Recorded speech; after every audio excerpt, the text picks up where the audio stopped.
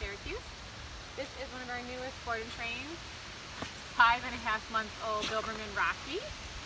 Um, basically, he just comes to us with all that typical puppy behavior.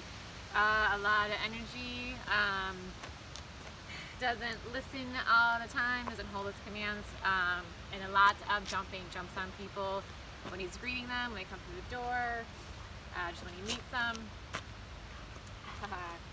so let's see what Rocky knows right now. Rocky, come. Rocky, come. Oh, good boy. Rocky, sit. Rocky, sit. Sit. Hey, Rocky, Rocky, come. Rocky, sit. Sit. Rocky, down. Down. Down. Okay. All right. So we got some work to do with Rocky, so we'll be teaching him all those commands and then some, and definitely working on uh, harnessing that puppy energy into some great obedience for dad. And I will show you guys what Rocky does in just two weeks. Huh. Come on, come on, come on.